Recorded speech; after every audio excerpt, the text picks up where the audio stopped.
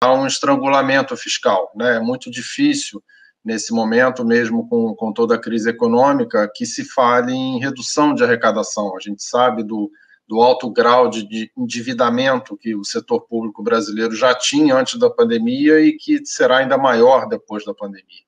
Então, o que a gente precisa pensar nesse momento é numa tributação mais eficiente, numa tributação mais inteligente, que ainda que no primeiro momento não haja uma redução de arrecadação, porque isso não é possível, ela tem um viés de estimular a atividade econômica.